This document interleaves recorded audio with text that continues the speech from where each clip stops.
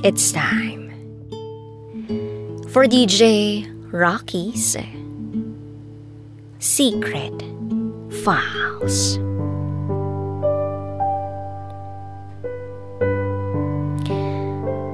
Mahal, ipangako mo sa akin, kapag wala na ako, huwag ka titigil magmahal ulit.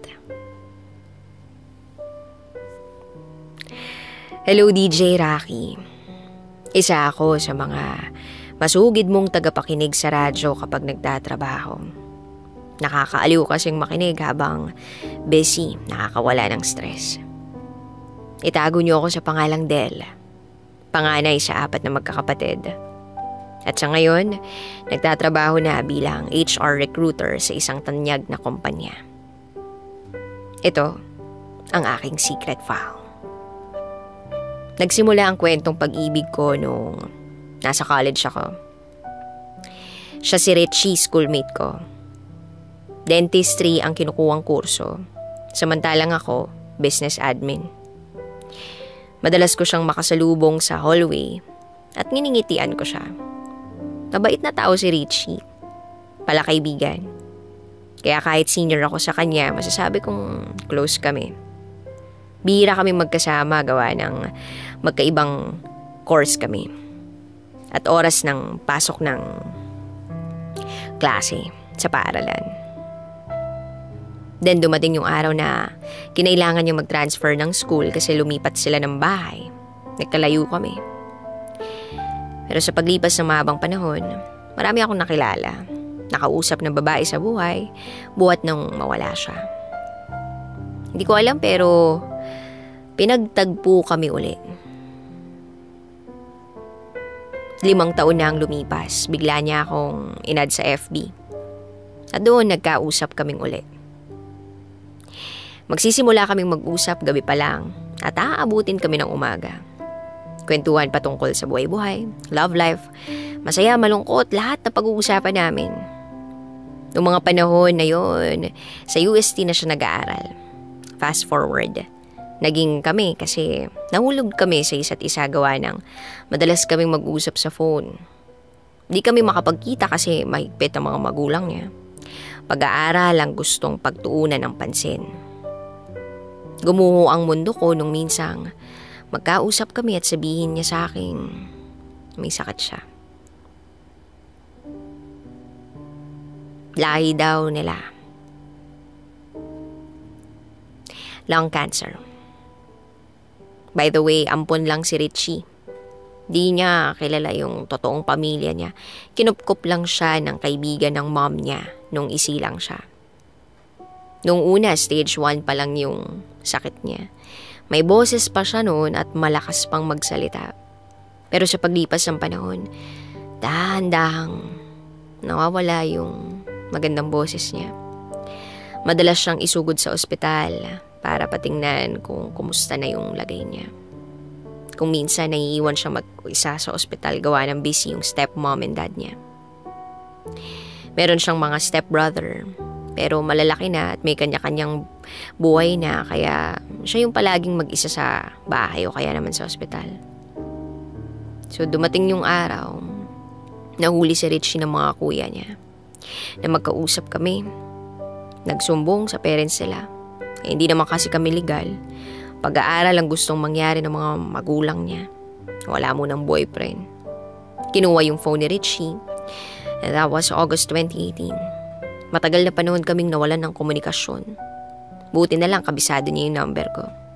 Nakikitawag siya sa nurse na nagbabantay sa kanya.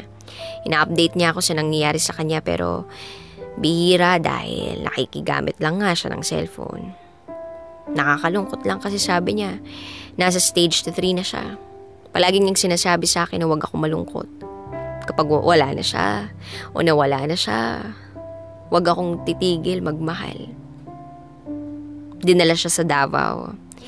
Nagbaka sakali na doon magamot siya kasi hindi nakakaya ng ospital dito sa Metro Manila yung, gam yung gamutin siya. Patuloy pa rin kami nag-uusap. Patuloy pa rin yung relasyon namin ng patago. Ayaw kasi sa akin ng mga magulang niya.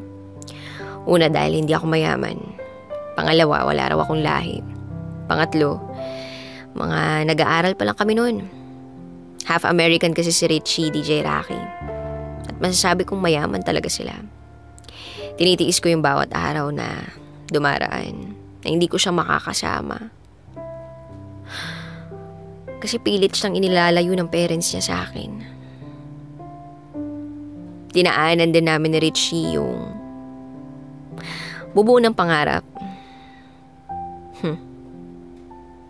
Oo, sinabi ko sa kanya na mahal na mahal ko siya. Na masaya ako sa kanya, kontento ako sa kanya.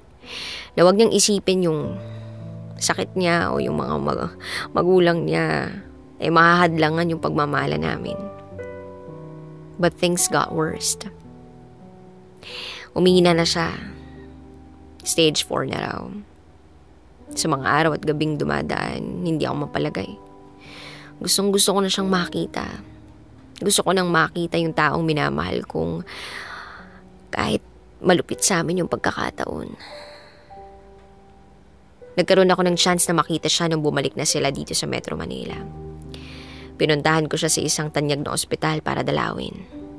Makita, palakasin ng loob, at patuloy na lumaban. Yung babae na nakilala ko noon na sobrang sigla, malusog. Malayong malayo sa itsura na nakita ko. Halos hindi ako makapagsalita nung makita ko siya ng personal. Hindi ko na malayang tumutulo na ang mga luha ko habang papalapit ako sa kanya. Ganun din siya. Mahal, nandito na ako. Pakatatag ka. Cancer lang yan. Kayang-kaya mo itumbayan kasi matapang ka. Bubuo pa tayo ng pamilya, di ba? Sabi ko sa kanya. Nangiti siya at naluha siya sa sinabi ko. Humagulgul ako lalo sa binigkas niyang salita sa akin nung magkasama kami sa ospital. Mahal, ipangako mo sa akin. Kapag wala na ako, huwag kang titigil magmahal uli ah kahit paulit-ulit kang masaktan. Kasi para malaman natin na sa buhay, eh, kailangan maramdaman din nating masaktan. Sobrang saya ko, mahal. Kasi ikaw yung unang naging boyfriend ko. Araw-araw, pinapalakas mo yung loob ko para lumaban. Pag wala na ako, at hindi na tayo magkita, tandaan mo, Mahal na mahal kita. Tandaan mo, proud na proud ako sa'yo. Kasi mabuti kang tao. Mabuti kang anak sa family niyo. Nafe-feel ko, mahal, hindi na ako magtatagal. Oo, natatakot ako na baka hindi na kita makita pa. Kasi dadalhin na ako nila mama sa Canada para dun gamutin. Tandang-tanda ko pa yun, mahal. Masakit. Sobra. Yung makikita mo yung taong mahal na mahal mo, dahan-dahan ang kinukuha sa'yo. Pero wala kang magawa kasi hiram lang naman tong buhay natin eh. May 23, 2019, lumipad sila papuntang Canada. Hiling ko kay Richie na kapag nandun na siya, na kapag may lakas na siya, agad-agad tawagan o text niya ako. Nangako naman siya. Sa paglipas ng araw, inaabangan ko yung tawag o kaya text niya. Madalas akong nagiinom. Umaga tanghali gabi, nasa resto bar lang ako mag-isa. Inaantay siya. Binabasa yung mga old message or conversation sa amin. Tinitingnan ko yung mga litrato namin. Hanggang sa kinagagalitan na ako ng mga magulang ko dahil sa pagiinom ko madalas. Ipinaliwanag ko naman sa kanila yung dahilan kung bakit nagagawa ko yung mga bagay na yun. Pero hindi nila ako maintindihan. Halos lahat naman ng mga tao sa paligid ko hindi ako maintindihan. Kung bakit patuloy pa rin akong lumalaban para sa relasyon namin. Hanggang dito na lang muna po, DJ Rocky. Muli, ako si Del. At ito, ang aking secret file. Always your number one. Station. Love Radio. Kabisyo, nakarelate ka ba sa secret file na binasa ko? Kung nakarelate ka, mag-subscribe ka na dito sa aming YouTube channel at pindutin mo na rin ang notification bell para updated ka sa mga susunod na episodes ng DJ Rocky Secret File.